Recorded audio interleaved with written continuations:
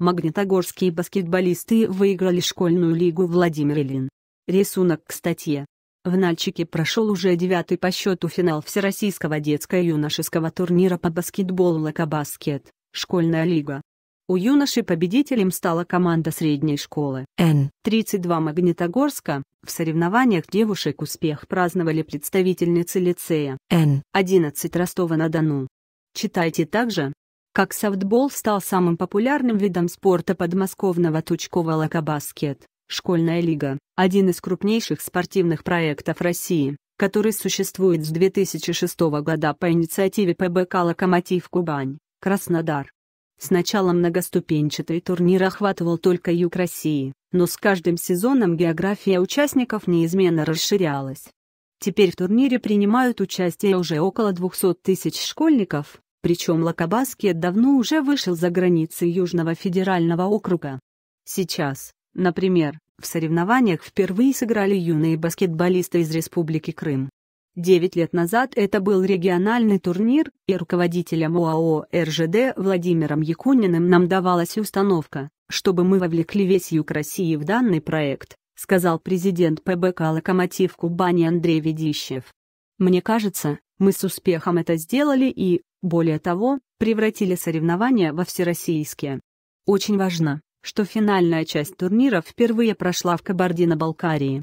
Те усилия, которые приложили президент республики Юрий Коков, министр спорта Асланбек Хуштов и председатель комитета парламента по спорту и туризму Мурат Карданов, позволили создать этот праздник. Мы развиваемся очень активно. У нас теперь играют и девочки, это очень важно. Мне понравилась интрига, понравилось желание бороться до последней секунды. На самом деле мы увидели все грани великой игры баскетбол. В мире им занимаются 500 миллионов человек, 2,5 миллиона из них в России, и это только те, кто зарегистрирован в официальных спортшколах и клубах. А сколько ребят, которые играют в таких вот школьных командах. Очень важно, что эта массовая игра сейчас получила развитие на Северном Кавказе. Думаю, Наш турнир может дать толчок созданию в Кабардино-Балкарии из этих перспективных ребят команды мастеров. Смотрите также, Уникс вырвал победу у Химок на последних секундах матча почетными гостями финала были три олимпийских чемпиона по разным видам спорта, пловец Александр Попов, гандболист Игорь Лавров и мастер прыжков на батуте Александр Москаленко. В финале турнира девушек-лицеистки Ростова-на-Дону переиграли сверстниц из школы Ленинского района Ставрополя хотя уступали по итогам стартовой четверти. Итоговый результат – 63 двоеточие 39. Самым ценным игроком решающей стадии признана Ульяна Травина из состава победительниц. Главный матч турнира юношей в спортивном комплексе «Гладиатор» держал зрителей в напряжении до последней секунды.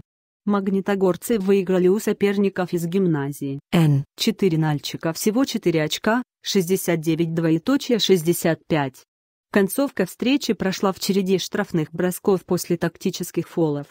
Титул MVP достался Александру Забалуеву из команды Магнитогорска.